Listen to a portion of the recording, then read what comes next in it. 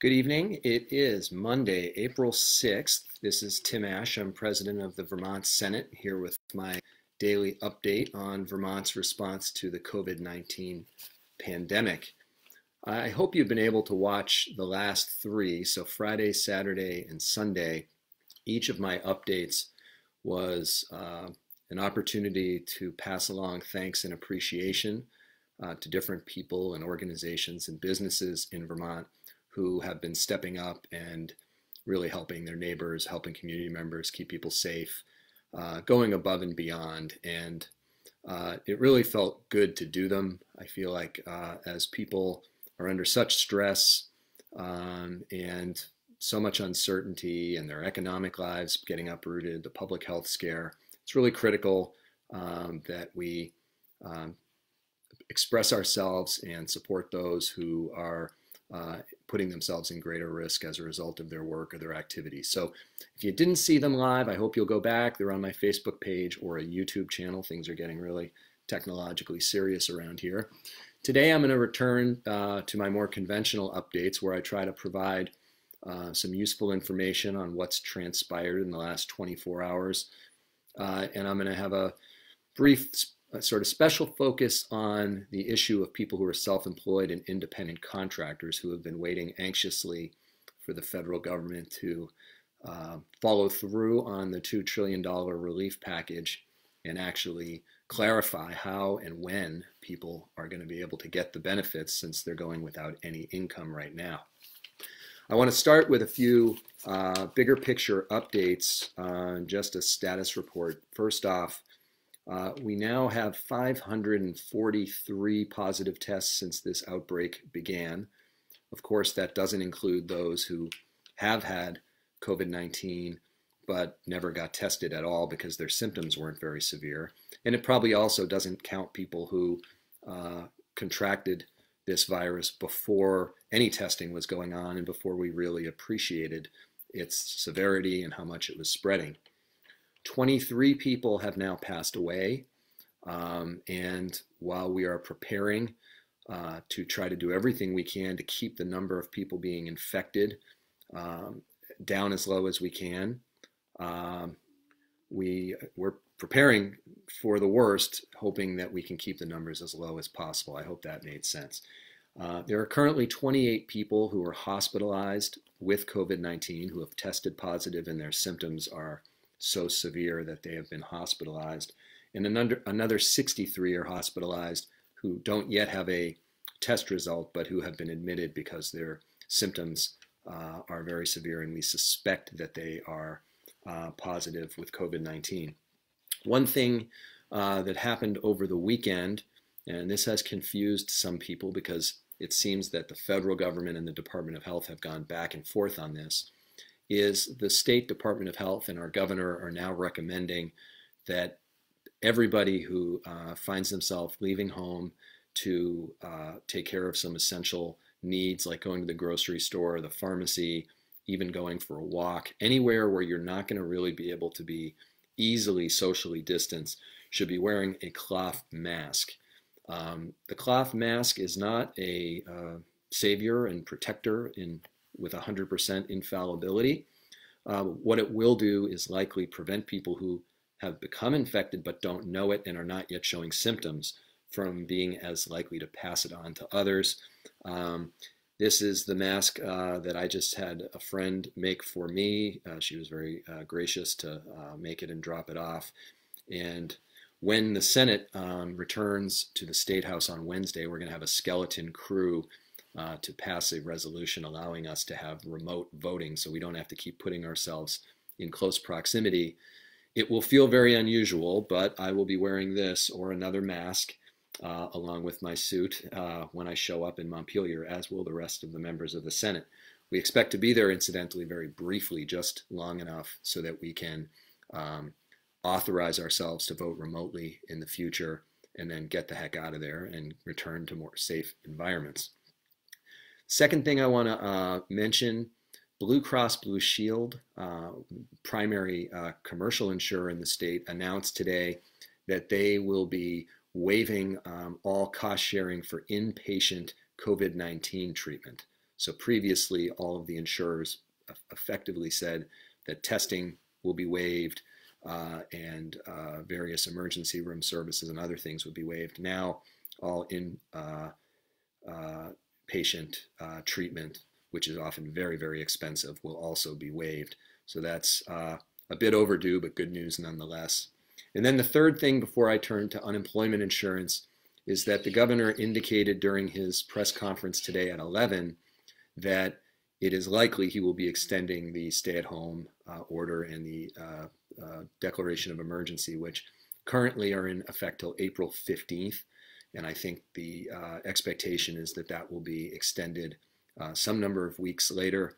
We hope, uh, obviously, that the news will be getting better during those weeks and that things can be safely transitioned on the way back to normal.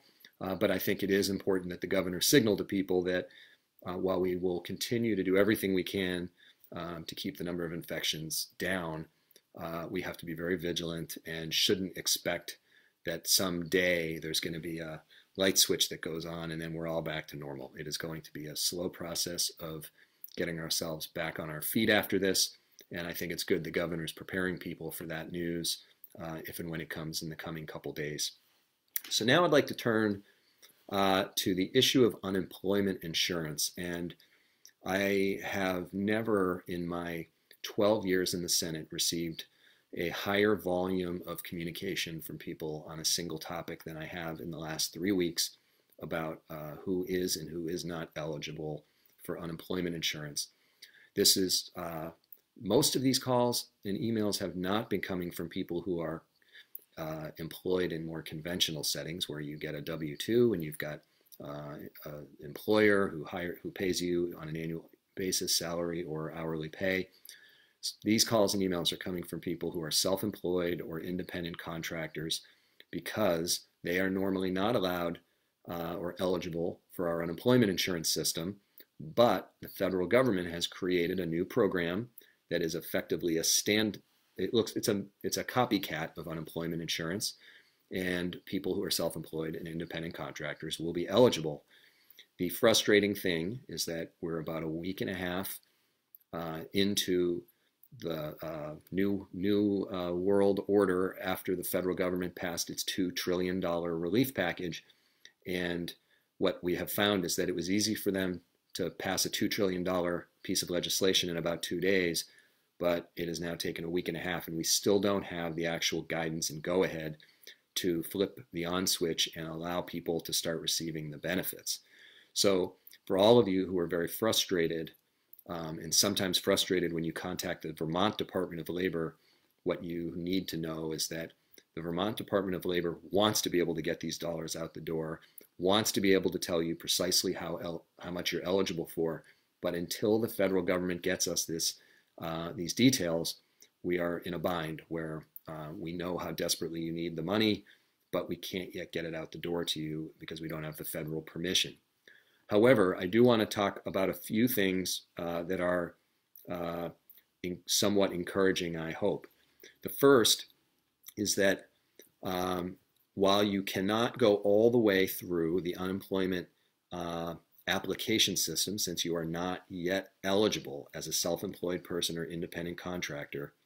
What you can do is fill out an initial claims form and when I'm done with this video I will put uh, a link to that form if you haven't already uh, uh, filled it out on the comments section uh, of this video and once you have done that you will have effectively gotten a big jump start and the moment the feds give the Vermont Department of Labor the go-ahead, you will already be in the system. They will then be able to contact you and get things uh, moving in a hurry. So I really encourage people to, the soonest you can, fill out the online uh, initial claim form is what it's called. I'll have that link available and you'll already be in the hopper for when the system uh, goes live. An important thing to know for your financial planning, because uh, many of you are worried that with each day that passes, you're passing up uh, the benefits which the federal uh, legislation entitles you to. The I, I, hesitate to say good news since we've got this delay, but the fact is you will be eligible starting retroactive to the week beginning March 29th. So it will go back to uh, last, effectively last Monday, and that's when the uh, start date is. The legislation passed just two days earlier on a, or three days earlier on a Friday. It was signed very late at night by President Trump two Fridays ago. So basically, last week and this week will be the first two weeks of benefits to which you will be entitled and you will receive, even if it took two more weeks for you to fill out the form and get the final check from the Department of Labor. So the sooner you get in, the more comfort you'll have that you're you know, that the Department of Labor knows who you are, where you are, and what your circumstances are. You can get through some of the bugs of filling out the form because most of you have not filled out an unemployment form before in your lives. So get through the bumps and uh, you'll probably have some questions and it'll allow you to get answered and then you'll be able to submit the initial form and the benefits will be re retroactive to March 29th. The other uh, piece is while you cannot uh, yet really know what your weekly benefit will be, the one that's calculated based on your income, what you will know is that you are going to get $600 a week on top of whatever else you're eligible for. So, from a financial planning point of view, you should operate under the assumption, if you're self employed or an independent contractor, that you are going to get $600 plus for last week, $600 plus for this week, and every week moving forward. That applies for self employed and independent contractors, and also some people who have worked a little bit but not enough to qualify under normal unemployment rules. So many people, uh, despite the frustrating wait, will receive some desperately needed um, cash to help you pay your bills. Um, feel free to ask me questions offline if um, that isn't uh, clear enough to you uh, and I will uh, make sure to I do whatever I can to help. The other thing, I've had some questions from people who were on unemployment insurance already uh, because they had um, lost their job for some reason prior to um, COVID-19, and they were about to run out of their eligibility, their number of weeks, and they ask if they're still eligible to collect any benefit. Um, the short answer is yes. Obviously, right now is not an easy time to be uh, on the job search. And so the federal legislation has extended the uh, length of time someone can collect unemployment to, I believe, 39 weeks, so an additional quarter um, of the calendar year.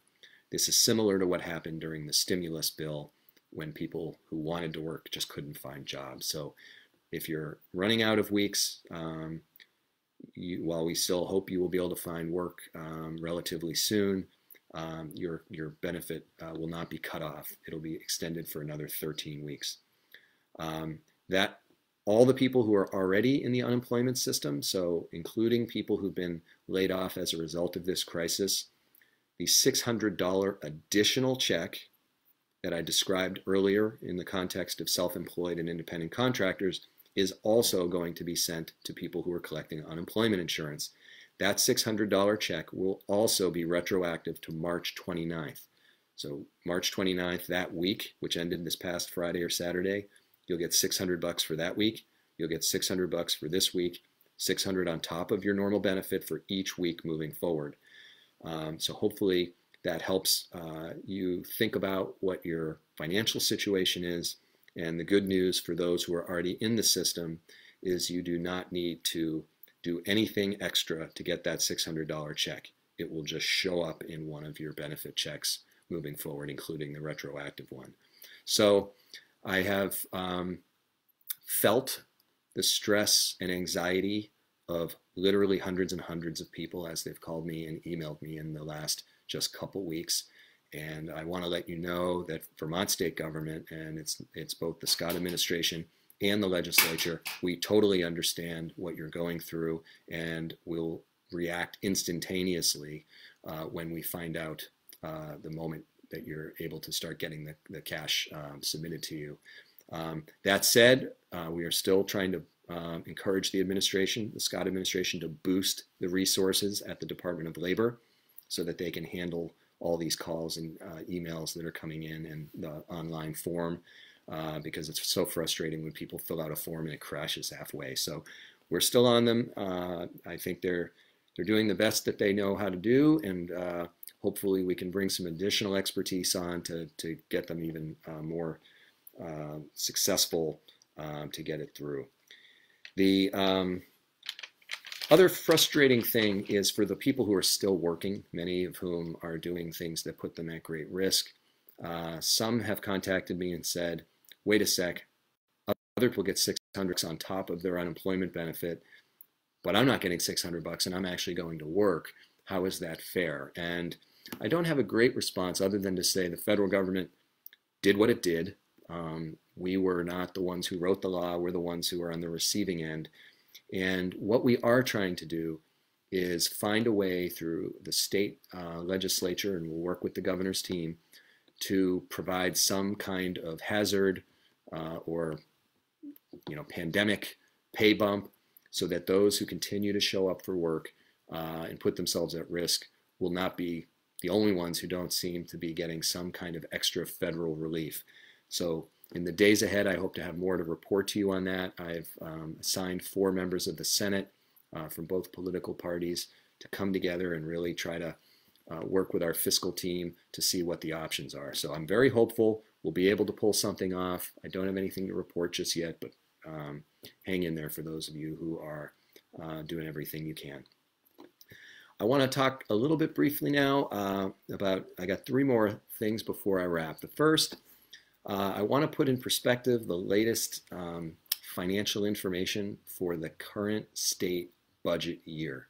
So on previous updates, I've probably bored some of you to tears. I hope uh, you weren't listening while you were driving. Um, about how our state budget year goes from July 1st to June 30th. So we're about three quarters of the way through the state budget. And because of the suddenness of this crisis from an economic point of view, we are not in good financial shape right now. And to put it in perspective, um, I'm going to just rattle off a few numbers. These are hopefully illust illustrate for you the challenge that we have in the legislature working with the governor's team to figure out the finances as we move move along here. The first thing is for the fourth quarter of the state fiscal year, the one we're about to be in, we expect income tax collections to be down $200 million from what we had expected. So $200 million uh, in the grand scheme of the federal budget would be like dust in the wind. In Vermont, $200 million is a massive amount of money. So that's a challenge we're going to have to figure out. Rooms and meals tax, the tax that people pay when they um, rent a, a, a, night's room at a hotel or a B&B uh, and the meals tax every time you buy a prepared meal at a um, at a restaurant, down 30 million for the next three month period. Our state's education fund, which uh, receives both property tax payments and sales and use and a variety of other taxes to pay for our school system, is down 142 million dollars for the next three months. And our transportation fund, which pays for basically everything uh, that falls under the self-obvious category of transportation, but includes public transit, rail, um, road projects, bridges, and so on, down $43 million. Uh, and that one I'll just briefly explain what the contributing factors are. The gas tax is collecting about 12 million less than was previously anticipated. Obviously, people aren't driving to work in the way they were. $12 million less in purchase and use tax, which is effectively the sales tax you pay when you buy a car. So people are obviously not out there, and the auto dealerships have been required to close for sales. So $12 million reduction in purchase and use tax, and $16 million reduced motor vehicle fees. Um, there are a whole range of fees paid for by people like me and you, people who drive commercial trucks, uh, and that is down 16 million. So I tell you all these numbers not to scare you or uh, uh, be alarmist, but to say that the challenges from a fiscal point of view, once we get through the public health crisis, are not going to be insignificant. And much of the money we get from the federal government will not be allowed to be used for just whatever we want. And it's not going to be, we think, allowed to just backfill our revenues that are down. So um, if there is one uh, silver lining, and I don't, I don't even know how I can say this out loud. There is no silver lining, but let me just say that um, the Great Recession, which was about 10 years ago, um, state government in Vermont has some not distant uh, experience trying to work our way through some very savage economic times. So hopefully some of the lessons we learned then will apply now. And in terms of some of the uh, crisis response and all the surge hospital facilities and all those things that we're doing uh, to quickly get out and keep people from being infected, uh, take care of people with acute symptoms. It is not unlike our immediate response after Tropical Storm Irene. So in that sense, we also have some experience helping people, uh, local communities and hospitals and others figure out how to draw down the most federal emergency management money. So hopefully our experience in recent years will help us, um, but um, you know, I guess history will judge. Two other things.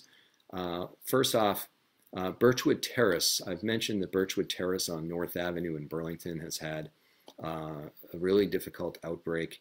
And now, in addition to the 26 residents who have tested positive for COVID 19, 22 of their employees have tested positive. They're testing everybody. So um, that is a very high number. And obviously, um, nursing home facilities uh, and recovery care facilities are very staff dependent. So 22 people down uh, is a real problem.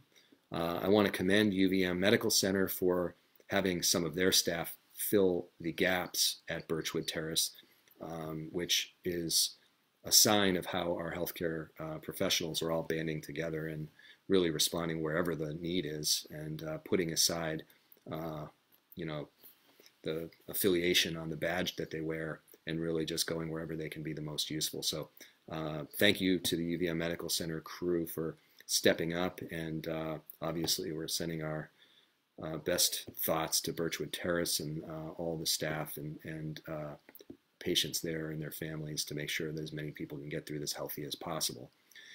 And last, um, yesterday, uh, my third day of thanks and appreciation. It was a, a, weekend of uh, expressing gratitude. Um, one senator got his uh, recommended person to be recognized uh, to me just a little bit late after I had finished wrapping up the video.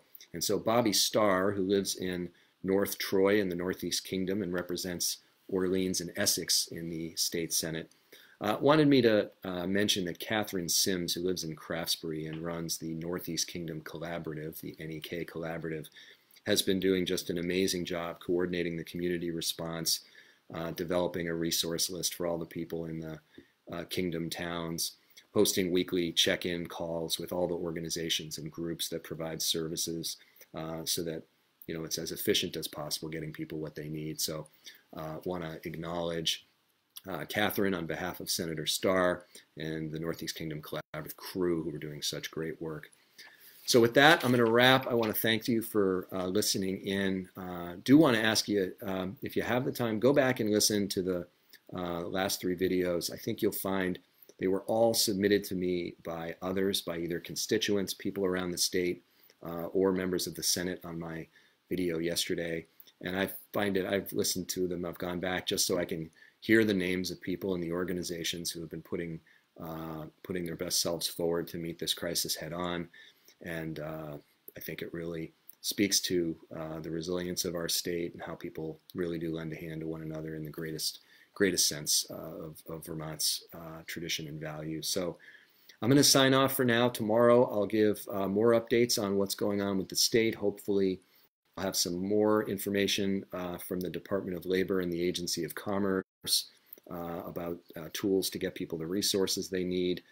Uh, and in the meantime, uh, I've got to remind you the uh, cloth masks are being, the directive is to wear cloth masks when you're in public doing essential um, grocery shopping and things like that. And it's, it's, it's not the most customary thing for people in our country to do. And sometimes it might feel awkward, but um, you know, each time you put that on, you could literally prevent someone from getting sick and ultimately dying. And I think if you put it in that perspective, each time you throw it on, you'll probably be like me, a little less vain when you throw throw on something uh, and worry if you look you look uh, look a little unusual. So get past that, keep people safe, and I'll check in with you tomorrow.